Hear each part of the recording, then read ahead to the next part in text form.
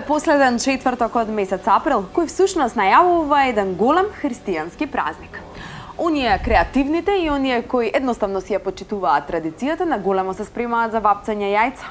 Ние се спремаме за уште еден бекстејдж. Добре дојдовте. Денешниот бекстејдж ќе биде во знакот на празникот, а што друго ќе гледате, следува во најавата.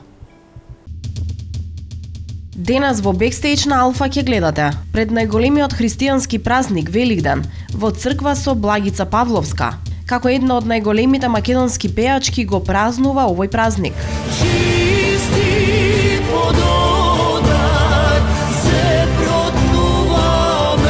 Интернационалниот ден на джезот го одбележуваме со джезери и тоа во Нью Орлеанс. Нью Орлеанс има еден карактеристичен звук и еден карактеристичен вкус – джезот и бурбонот.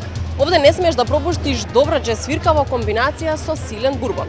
Само тогаш и туристите и локалните жители имаат нешто заедничко. Какви беа во средно ракометарите на Вардар? И како што најавивме, стартуваме во знакот на празникот. Овој пат во друштво на една голема македонска пејачка која е и голем верник. Разговараме со Благица Павловска за великденските обичаи и неизините навики за овој голем празник.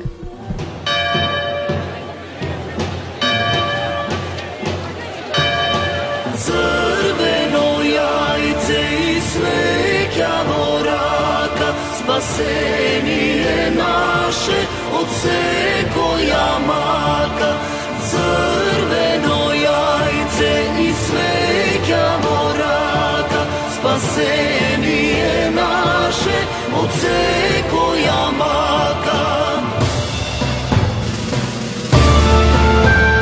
поинаково светло, онака достоинствено како што му доликува на еден голем верник, Благица Павловска. Освен што ја препознаваме како фолк пејачка со цврста кариера зад себе, пред се е верник кој со огромна почит гордо се поклонува пред Бога. Токму на Велики четврток, заедно со неа се упативме кон прекрасниот Божи храм Свети Петар и Павле за една искрена молитва.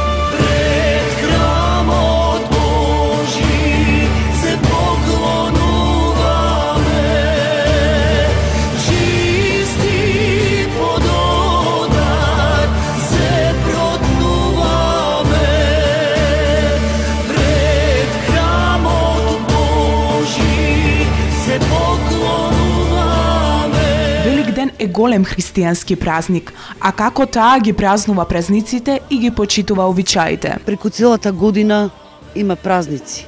Секој празник има свое значење. А, се случува да и самите луѓе и јас не сум знаела можеби што некогаш значал овој или оној празник. За жал, се може да се дознае ако човек сака да дознае какво значење има, зошто ние славиме Великден. Значи, Исус се молил на Бог да го одмине злото кое го следело, додека бил он протеруван и измачуван. А, така и ние сакаме во нашиот живот да го елиминираме или да го избегнеме злото, што е вреба на секој чекор. Меѓутоа вика мора да го поминеш. Мора да го помине секој искушение во животот, за да бидеш појак. Се радувам на секој празник, се радувам на не се радувам на страданијата Божи. Меѓутоа Бог рекол радувајте се. Дојде спасението ваше. Значи Бог се Бог бил измачуван и распнат на крстот за да не спаси нас. А како? И тоа треба да го знаеме. Значи треба да се да се покаеме за сите своји гревови, за сите своји лоши мисли и да им простиме на оние што нас лошо ни прават.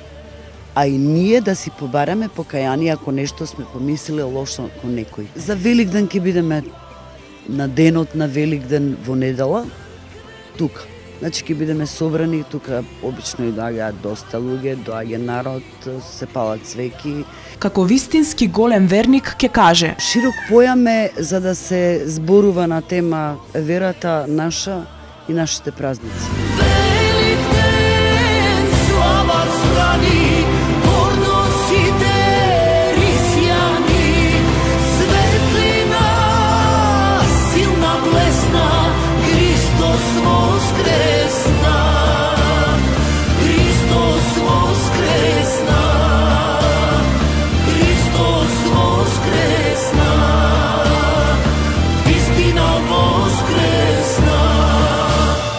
Како се празнува Великден во домот на Благица. А, како што и во сите домови. Истото и јас рано сигурно ќе станам, да ги сфрбам јајцата, да се помолам со молитва. Тоа е посебна радост. Значи, чинот а, има значение. Ти на тој ден а, мислам дека се има случано до сега се фарбале јајца, па се појавил Исус на јајцето и така натаму. Јас тоа подсвесно го сакам и посакувам да ми се случи да се да се оцрта ликот на Исус или на Богородица. Верувам дека сигурно ќе има такво чудо. Бог Бог Исус Христос, Пресвета Богородица, направиле многу чуда на земјава, на небото и на земјата. Значи, очекувајте ако ако верувате кога они сакаат и милуваат таму кај што сакаат и милуваат прават чуда. Оче наш, кој си на небесата, да се свети името Твое, да дојде царството Твое, да биде волјата Твоја, како на небото, така на земјата. Лебот наш насушен, дај ни го денес и прости ни ги долговите наши, како што и ние им ги проштеваме на нашите должници. И не не и во искушение, но избави не од лукавиот. Зашто Твое е царството, силата, славата, сега и секогаш. Малку поинакво издание од оние во кои сте навикнати да не гледате.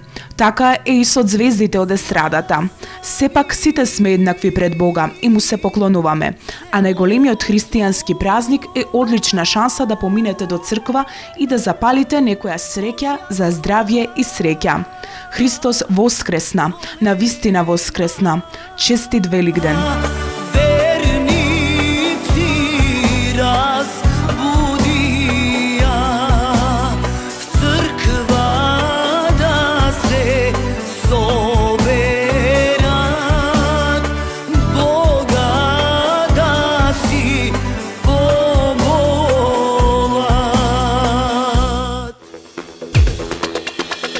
Празниците вообичаено го зближуваат семејството, но и ја омекнуваат душата па ни отвараат нови хоризонти кон хуманоста. Токму таква е и предвеликденската атмосфера кај нас. Вчера во просториите на средното училиште Јосип Броз Тито, учениците на дело ја покажаа својата креативност. Почнаа со музика.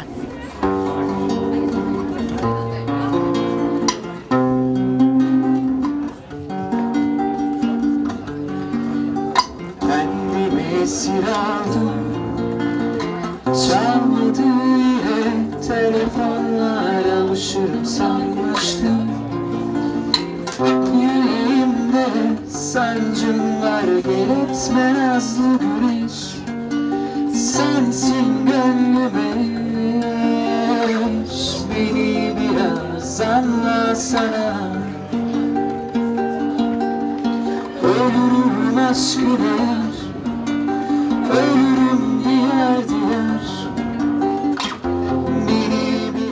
продолжија со хуманитарен базар на кој што беа изложени великденските декорации подготвени од гимназијалците во Брос. Освен својата креативност, преку базарот ја покажаа и својата хуманост. Па собраните финансиски средства ќе ги донираат во институција за деца со посебни потреби.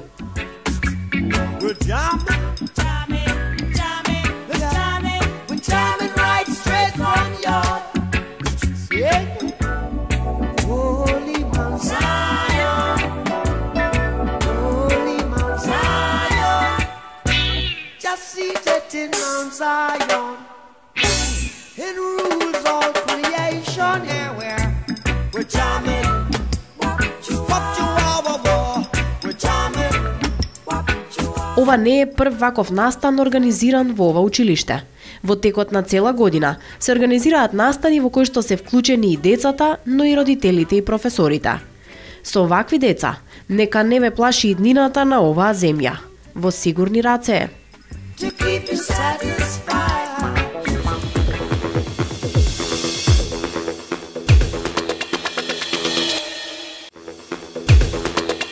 Денес ги знаете како членови или ракометари на најдобриот машки ракометен клуб во Скопје Вардар, но и Филип Лазаров и Страхиња Милич некогаш биле средношколци. Токму затоа, вчера во просториите на стручното економско и правно училиште, Васил Антевски Дрен ги навративме на нивните средношколски денови. Што најмногу ти остана во сеќавање од средното образование? Па највише ми остало дружење. Јас сум имал тај мали еден период кога сум кренул у средњу школу. Јас тад отишов да играм у Данску, така да сум тамо завршавал коледж. И могу да кажам, ишо сам ето и у Србија, и у Данској, и у средњој школи. И било е многу лепо дружење, пре свега дружење, ништо. Што знам, дружбата со школските нели и тоа што бегавме од часови, два чекав да дојде 4-5 час да отидам на тренинг, да веќе тренирав паралелно нели и учев и не ми правеше проблем. Овие професорките не ми правеле проблем бидејќи знаеа дека мојата прва љубов е спортот и така. Директорот на ова средно училиште, Александар Канурков, не го криеше задоволството од средбата на овие европски спортисти и неговите средношколци. Која беше првичната идеја за овие дружби? Дали може би за да ги мотивирате младите на спорт? Па да, спортот е еден како важен дел нели во секојдневието на младите луѓе и затоа еве сега трети поред беа женскиот ракометен клуб Вардар, фудбалерите на Вардар, сега ги носиме ракометарите на Вардар, една дружба на младата генерација и да го поврземе образованието со спортот на еден убав дел и да видат дека оние светски звезди им се до, достапни и нив. Дали сте љубител на ракометот? Да, стално го гледам Вардар, јас сум дете навивач на Вардар и дали ма, мажи или жени, моето место е таму. Имате ли некој омилен ракометар вака посебно? Не можам да ги извам цела екипа на Вардар, Вардар е бренд, Вардар е име. Очигледно не е единствениот кој што со цело срце навива за црвено-црните, но и тие некогаш биле нечии средношколци и наместо од средношколските клупи од холот на Васил Антевски Дрен денес порачуваат. Ништо да уче, да буду добри луѓе пред свега и да се баве спортом. Па ништо да да спортуваат, гледам дека тука има доста големи, крупни машки деца, девојчињата исто гледам дека се залюбени во нас во спортот и кој има желба, само упорност, тренинг и има талент кај нас за спорт и може да се успее. Слушнавте добра. Наместо пред компјутер, времето потрошата го на терен. Ништо чудно помеѓу овие идни економисти и правници да се крие следниот Лазаров или пак следниот Страхиња Милич. Знам дали знаете, ама добро е да да знаете. 30 април е интернационален ден на джезот.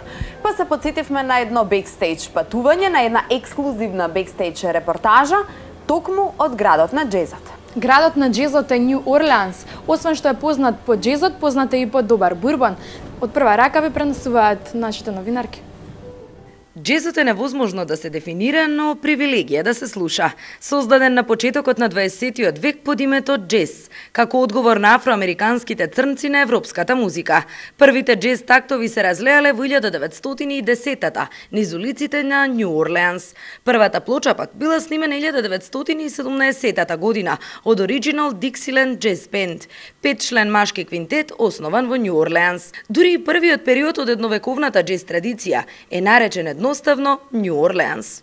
Нью Орлеанс има еден карактеристичен звук и еден карактеристичен вкус – джезот и бурбонот. Овде не смеш да пропуштиш добра джез свирка во комбинација со силен бурбон. Само тогаш и туристите и локалните жители имаат нешто заедничко.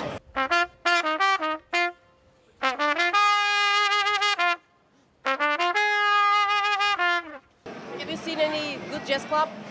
Oh, sure. They're all up, up and down through here. Have we, Jazz Jazz, yes, uh, down on French, Frenchman Street's the best jazz clubs, kind of off the beaten path. They have some of the locals down there that play at night for like $5 cover. That's the best place. Сите нив ги поврзуваат францускиот кварт и Бурбон Стрит, најпопуларната боемска улица во светот, онаа на која има преку 50 добри кафулиња и еден легендарен парк, паркот на музичките легенди, бесплатен и отворен за јавноста, создаден со цел да се представи богатото музичко наследство на градот. Збогатен со споменици на джез легендите Антуан Фец Домино, Ал Джамбо Хърт и Пит Фонтейн. I to see that even sun go down. Но паркот на легендите не е единственото место каде може да уживате во добрата свирка. Тука джезот извира од секое кјоше. Впрочем, целиот град дише во популарниот 4 четвртински ритам. пласиран така добро, а не наметливо.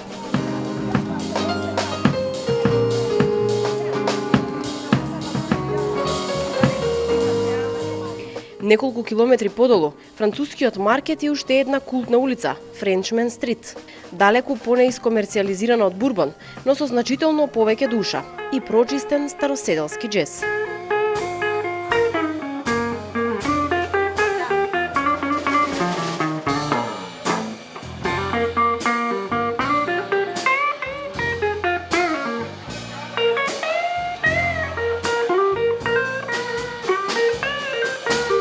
е бендот на Джими Бин Балеро, стар локален джезер со 4 децениска кариера. I started out studying classical, and then I got into rhythm and blues, and the, the natural progression of things was was was jazz, and it's it's it's such a an indigenous sound f- to New Orleans, which I'm where I'm born here, and it just was just a natural thing for me to get into it, you know. What's the best thing about jazz music for you?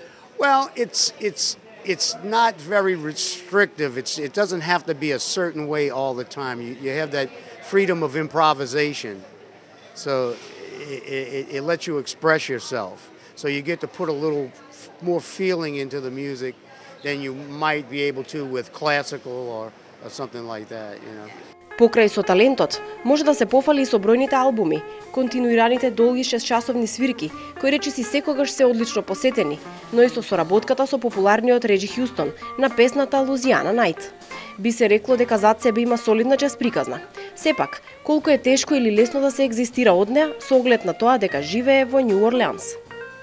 It's it's very difficult. Yes, as a as a it's not only the local musicians, which they have some wonderful musicians, but New Orleans is like a mecca for musicians, and so we attract musicians from all over the world. They want to come down here and play, and sometimes it gets to be kind of hard to uh, make a living because it's just a, a surplus of, of of great players down here. You know. Е, тука сме принудени да контрираме. Невозможно е да има суфицит на нешто што е одлично и квалитетно. А джезот во Нью Орлеанс е сосема таков. Одличен, квалитетен и несомнено спонтан. Lights, camera, action. Freeze. Денес по навика се одјавуваме со чаша цевитана. Утре е Велики петок, ама тоа не значи дека нема да бидеме дел од вашиот ден и на така убав ден. Се гледаме на истата фреквенција во истото време. Чао!